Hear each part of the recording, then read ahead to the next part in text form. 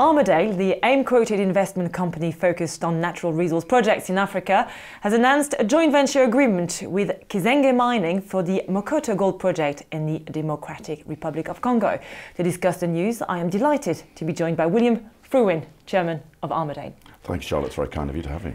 You're very welcome, William. A real pleasure talking to you this morning. So, this agreement is basically a reassessment of your development strategy for the project. That is true. It's um, this is a long-term um, asset of uh, Armadale. I think we've had it for about three years. I think a lot of um, effort was put in for two years. Oh, sorry, for the first year, and then it's sort of lying a bit sort of fallow since then. And it was costing us quite a lot of money. So we've got this sort of a resource which is draining. We've got to do something about it. And um, the Kisenge Group, which is um, is partly owned by the same shareholder as Armadale, I've had a look at it. We've had some heads of agreement with them to start with just to do some due diligence. They've had done their due diligence and they now want to take it to phase two.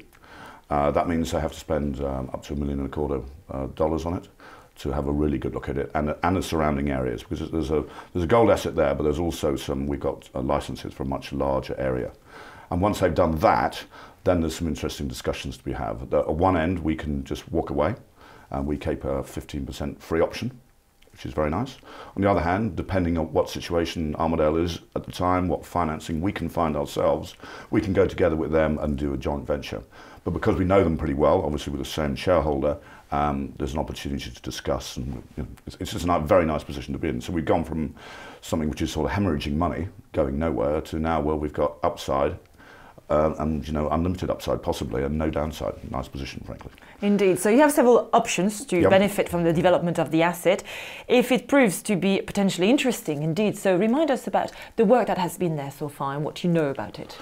Well, I know it's. I, I, I know it is a, a, gold resource. Basically, I think it's got about seven hundred thousand um, ounces in it, which is sort of on the edge of being, as I understand it, commercially feasible. Um, and but I think it's quite exciting what is around it.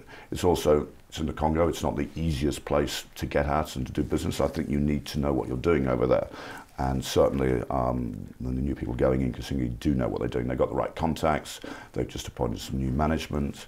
So I think you know they will have the best chance, frankly, of ascertaining whether this is an asset really worth going after or not. Presumably, they could walk away as well, you know, after at some stage. But I don't think so. I think the fact they've done their um, 90 days due diligence to start with, I don't think they'd have gone ahead unless they were pretty confident that there's something there worth worth having.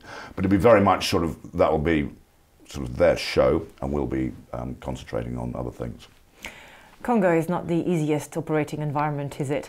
Well, I'm not sure. I've never been there, but I'm, I'm told unlike, it's not perfect. Yeah, unlike Tanzania, unlike where Tanzania. you have an interesting project there. well, that's, that's, that's to be fair where we're concentrating. Um, so back in June, I think, uh, this Tanzanian asset, which is a, a graphite mine, um, was was effectively bought by ACP from some Australian um, investors, and um, the same the same guy, in fact, who is um, exploring the Congo is a guy who was got the asset in Tanzania and gave it to us, or gave, we bought it from him.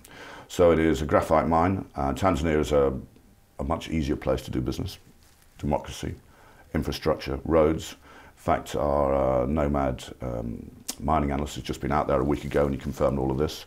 And the important thing is it is in an area of known graphite reserves. There are two other mines right beside us, Kibaran and Black Rock, who are effectively a year ahead of us. Um, we have just done some drilling. The first set of drilling was done in uh, September, October. We've had the assay results, two of them, 18 out of 21 uh, holes were you know, very good. They had something. What's exciting about graphite? Well, it is. I saw it is. It is. It is one of the you know the metals that everybody's looking at because it is. Not, and most people in the industry know this is exactly what you need for lithium batteries. So if you believe in Elon, Ethan Musk or you believe in electric cars, whatever you believe in storage of electricity with these huge battery plants, yes, you need lithium, but you also need graphite which is you know the key the key thing for us. Um, you know, so you've got a massive demand, unquestionably. Um, I think demand's supposed to grow by about five times and by 2020. Obviously, there's a question of how much supply is there and at what stage. I don't think people don't know that yet, but I think if you can have a, a low-cost, streamlined mining operation, um, you've got a real chance. And I think it'll be quite key to get moving quickly, so that you get stuff out there, you do your off-take agreements quickly, and so you're you know you're ready to go. William, let's talk about you now. You joined the company in June and you have a background in investment and you've worked with many startups, haven't you? Tell us a bit more about yourself. Okay, so um, like many people in the early 80s, I came to the city um, without necessarily having any commercial background at all and got into bond trading with a company called Credit Suisse First Boston, which was probably the preeminent bond house at that stage. Stayed in that uh, line of business for a long time and ended up doing uh, fund management at uh, Threadneedle Asset Management, where I was head of fixed income there. Uh, but in the meantime, I think starting back in 1990, I started investing in startup and small companies. And I've done the rather ridiculous number of 65 since then, which is a lot for any angel. Um, and I suppose in some ways you would say this is another one, um, but just rather different to the stuff I normally get into. I have invested in a couple of in some mining stuff before. Most of the stuff I'm involved is is old industries and now become tech industries.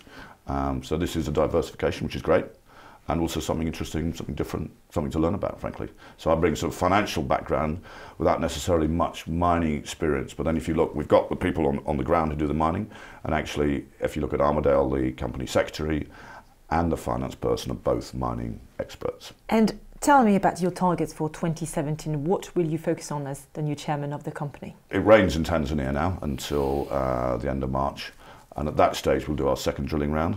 Um, and then we'll see is the answer to that. Obviously, we'd like to produce, we, we are hoping we've got a first class asset that can be um, monetized you know, as soon as possible. I think the, the thing will be to be a, a, low cost operator. We're going to try and get the expenses down to minimal. Yeah. It's not going to be a huge, big management board. Um, and we're trying to do things quickly as well. I think I think you know, I've, I think I said, uh, it, it, mining seems to take a very long time. As a very impatient bond trader, doesn't sit very well with me. So I'll be pushing to try and do things quickly, to get off-takes agreements done quickly, to get the feasibility studies done quickly. So we will be, you know, not wasting ours, and more importantly, shareholders' time. I think the shareholders have been very patient to this point. You know, the gold mine was not a great deal happening for a while. It would be nice to show them, and I'm determined to show them we're actually going to move quickly and make, you know, give them a great asset. Okay, William, thank you very much. Thank you very much. Appreciate it very much.